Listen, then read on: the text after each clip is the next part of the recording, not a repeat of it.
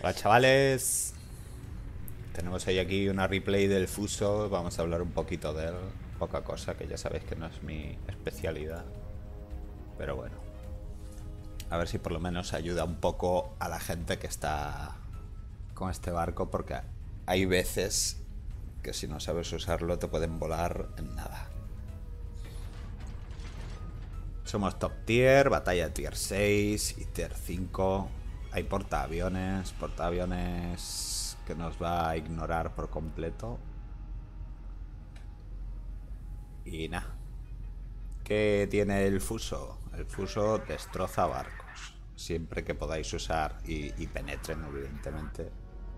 Siempre que penetren los cañones podéis matar cualquier cosa, sobre todo cuando está cerca cualquier cosa que se os ponga de una salva.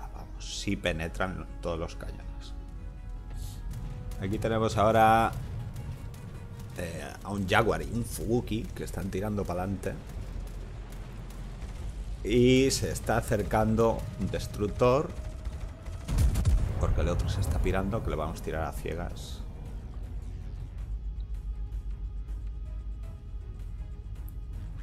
Y lo que teníamos que estar haciendo es eh, intentar de matar al Koenig, cosa que he malgastado una salva en el DD a ciegas que podía haber invertido en el Koenig, que tiene hidro y se está acercando. Así que vamos a girar ahora e intentar de. Me parece a mí que el Koenig no sabe lo que era un fuso. No debe de conocerlo mucho, los fusos que se encuentra pasan de él. Aunque bueno, siempre hay las overpens para compensar. Hemos fallado una, el tío ahora parece que dice tírame del otro lado.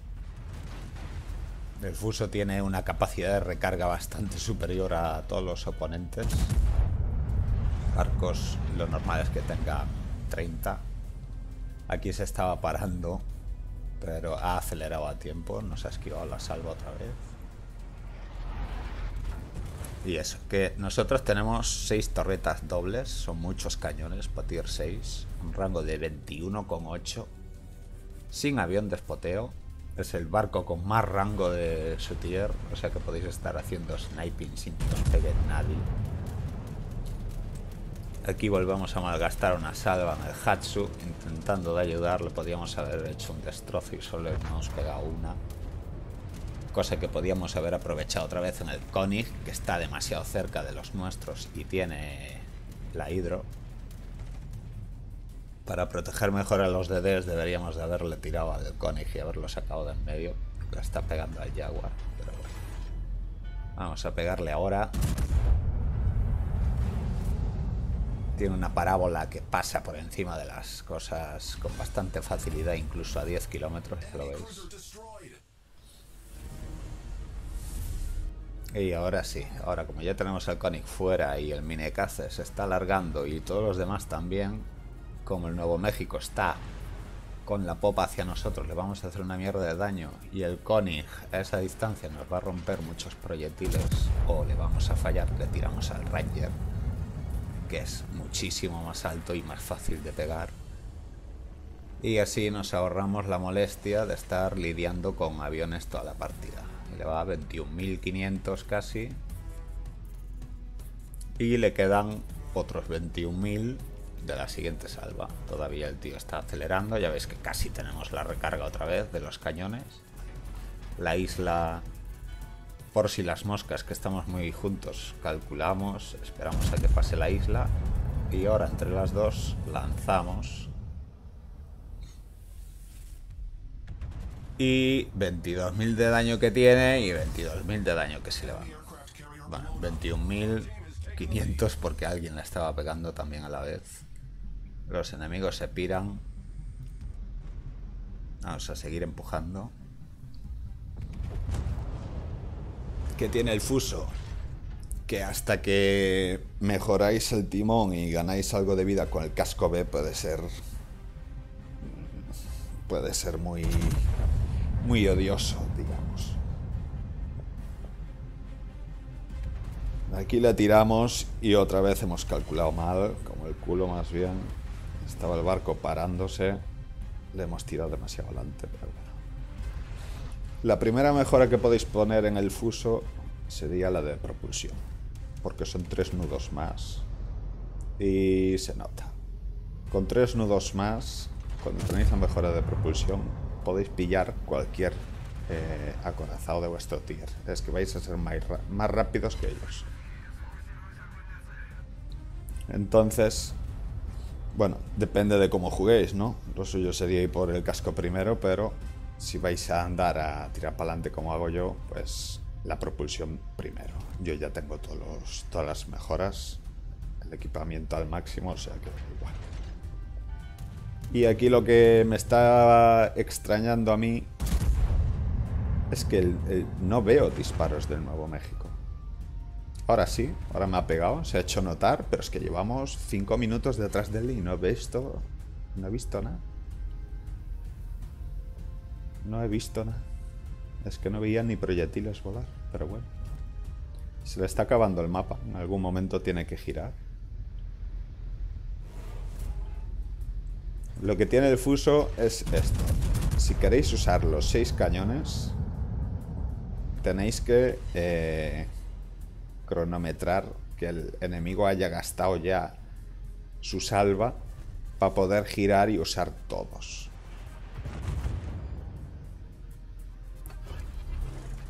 Tenéis que controlar esto y el mapa muchísimo. Por eso eh, lo de llevar la alerta objetivo prioritario, ¿no?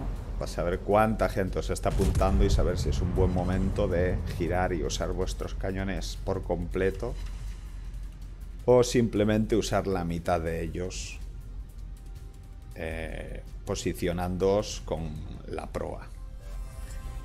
Ahora vamos a girar porque no voy a ir hasta el borde a andar a secundarias con el Nuevo México y vienen todos los enemigos del norte que están pegándole un repaso a todo el mundo allá. Así que vamos a dirigirnos hacia B mientras le seguimos pegando a este.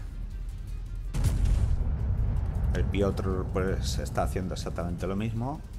Ahora, le estoy enseñando el costado, me podría reventar porque el fuso es que la armadura es una chusta, por eso es complicado. Y la gente se queda a máximo rango disparando, pero es que el tío, me parece, sí, el tío decide no dispararme a mí. Le tira al Piotr.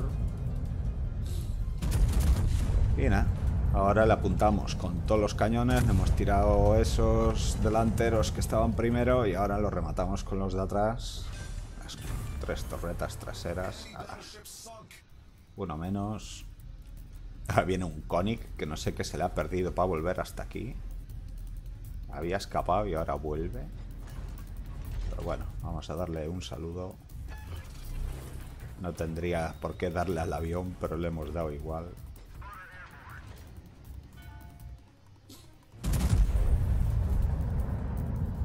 a dejarle el Koenig para otro. Va los tiros demasiado atrás. Le hacemos una mierda. Y ahora lo rematará el Piotr. Galisonier se está yendo demasiado por ahí. No sé si se ha dado cuenta de que el porta ya no existe. No sé qué se le ha perdido por ahí. Más que encontrarse en Nueva York y un Revolutsilla que están, más el Pensacola full de vida. Pero bueno. Ha sido de decisión de él. Si quiere morir, que muera. Nosotros vamos a mirar para el amigo Leander. Salva va. 19 kilómetros. Casi ni el avión despoteo. Ahora, ahora ya estaría dentro del rango. Aunque no lo tuviésemos encendido. Y esto es lo que tiene, ya veis. Una random a un crucero ligero lejos. Y es que es Ciudadela, tío.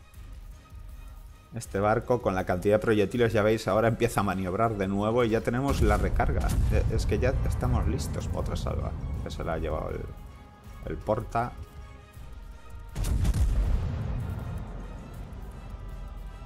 es que el potencial de fuego que tiene el fuso es pausar eh, todos, todos los cañones por completo. Siempre que no se estén apuntando. Tenéis que controlar, ya os digo, mucho el mapa para no exponeros porque el barco come daño por todos lados.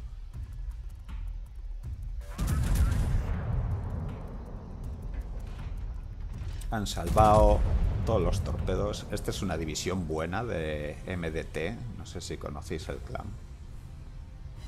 Yo la verdad que no, pero me lo dijo Scipio, que son buenos. Y el T-61 que ya está flanqueando, ya está a la izquierda del Nueva York por línea 3. Ya debe de estar en F3 el tío. Pues ese debe de estar aniquilando a todo el mundo. El AOVA, el, no sé si era un minicace o, o que era nuestro que estaba escapando por allí, debió de hacérselos a todos, más alguno arriba en B. Y ahora se encuentra en Nueva York. Nueva York casi con media vida. Ahora pide apoyo. No sé por qué te estás metiendo ahí, Nueva York, pero bueno. Tu decisión. Revolutzilla se queda parado. Galisonier se va al garete. Y vamos 6 contra 3. Ya somos 5 para 3. Sigue pidiendo apoyo en Nueva York. Si hubieras tenido los cañones por allí presintiendo que venía el T. T-61, que era más que visto desde que se había visto en línea D, pues no te habrías muerto. Lo habrías volado. Pensacola que viene sin camuflaje. Ya lo habéis visto antes. Vamos, marcha atrás. Los acorazados... Bueno, el que queda ya no nos puede disparar. De momento en esta posición. Vamos a intentar de pegarle al Pensa.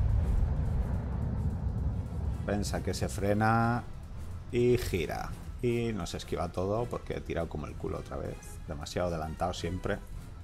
La costumbre de los acorazados americanos con ese proyectil tortuga que tiene. El Pensa no creo que vaya a venir para el sur, irá para B. Irán los tres a capturar B.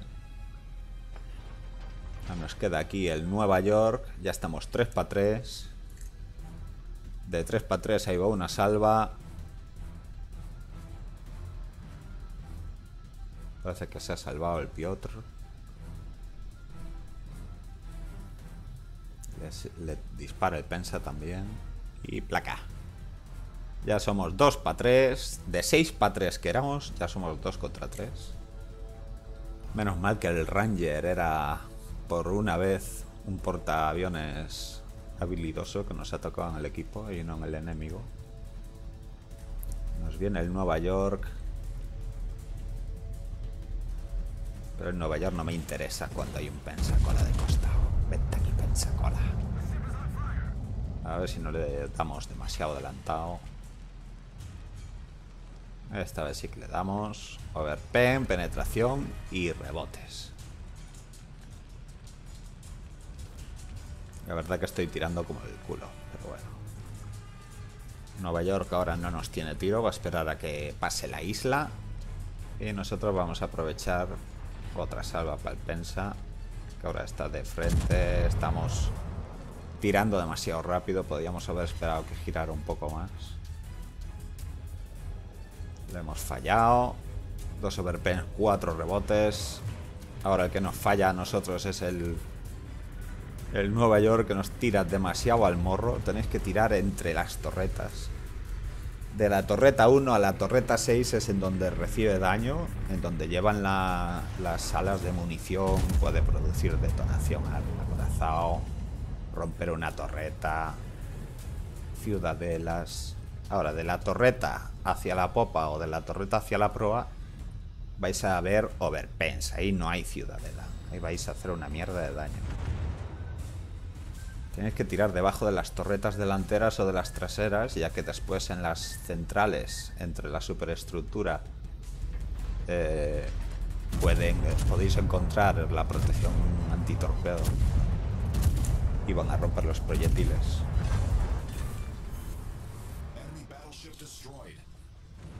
He tirado de una en una intentando de salvar la mitad de las torretas para pegarle al Pensacola y ver si podía hacer un doble golpe, pero he tenido que gastar todas las torretas con el Nueva York. Ahora sí, se pone a huevo.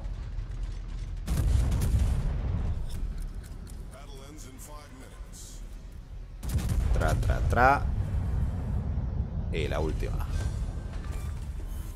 Ahora sí que no hubo... Bueno, hubo overpens igual, pero para un proyectil que penetra, ya veis. Una penetración. Es ciudadela asegurada. Es que es, una achetada este barco contra cruceros. Nos viene el T-61. Por la dirección que llevábamos habremos de esquivar los torpedos todos. Seguramente uno va para abajo y otro va pensando que yo iba a escapar de él hacia el Ranger. Que escaparía de un destructor al verlo. Ahí van los torpedos. Me ha tirado como si fuera a girar para cualquiera de los lados, pero no. Aquí no giramos. Y ahora le intentamos defoscar y no le damos ni uno. Tres por abajo, uno por encima. Va a maniobrar porque es que le da la maniobra ahí seguro. Maniobra. Vuelve a girar por completo. Podríamos... No tenemos ni por qué ir a por él. Simplemente quedar aquí. Estamos a una distancia en la que va a salir por cualquiera de los lados y podemos matarlo de sobra con 12 cañones. Ya visteis que si tiráis dos torretas, a lo mejor tenéis mala suerte en la dispersión, pero es que tirando las 6, de seguro que tres impactos se los va a llevar y se va a morir. ¿Qué pasa? Que el ansia me puede y vamos a tirar para adelante.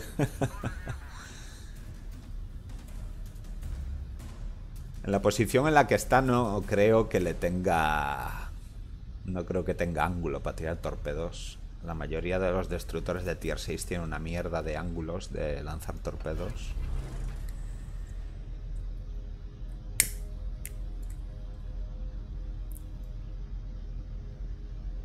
Está el porta... Porta, tío. No ataques de frente. Vete al centro de B. Atácale de lado. Que el tío está contra una isla. Si le haces girar hacia B, me da el culo y no me tira torpedos. Aquí yo pensaba que no tenía ángulo, pero sí, el tío estaba angulado. Suficiente para lanzármelos. Hemos tenido suerte. Que sobrevivimos gracias a que ese torpedo se lo ha comido la isla, si no podría hacernos un devastador. Pero mira, no tenemos más curas. Pero es que no hacen falta. El tío no, no se va a mostrar para que nosotros lo matemos. Está en rango de pintarse por cercanía. Así que ahora es comida para portaaviones. Si es que lo da matado. Para 3000 de vida lleva 3 minutos atacándole.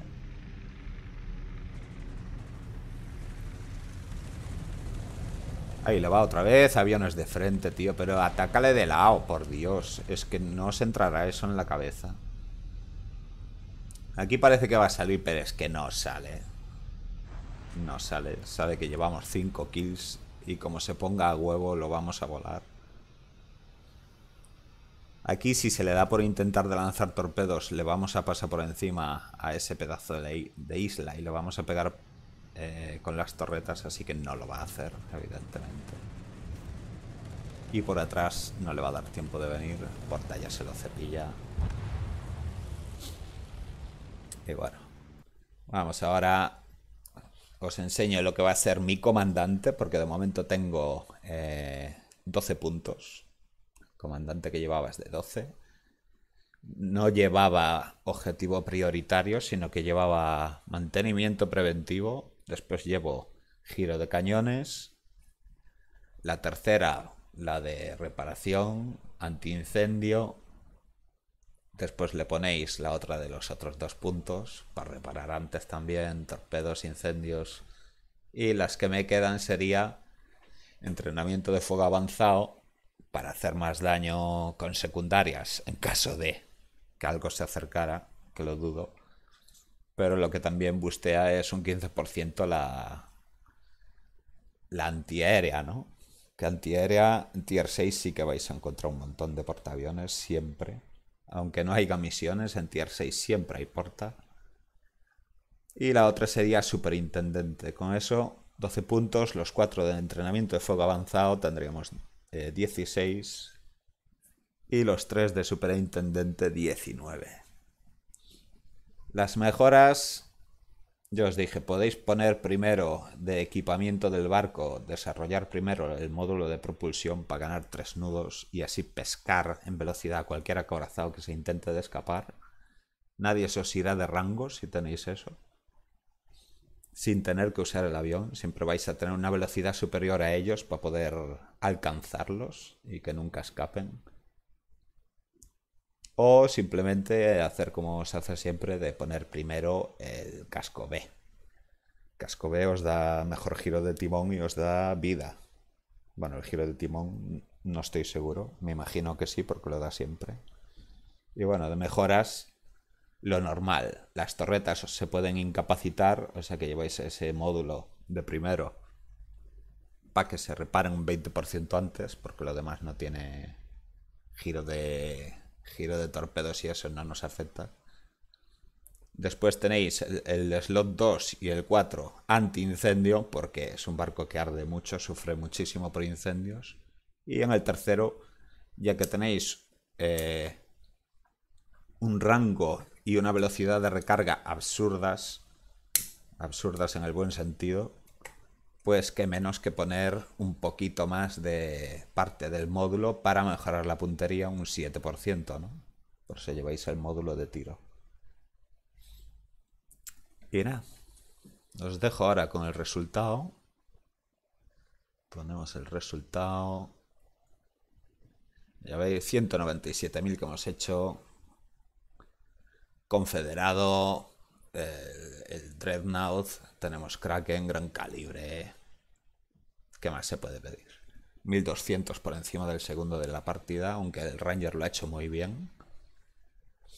Pero vamos, que un fuso bien llevado es una máquina de destruir incluso en tier 8. Y nada, espero que os haya quedado un poco más claro el fuso. Que puede ser blandito si se lleva mal, pero bueno, unos pocos consejos aunque no siempre me los aplico a mí mismo. nada, os dejo hasta el siguiente vídeo o directo. Que lo paséis bien. Hasta luego.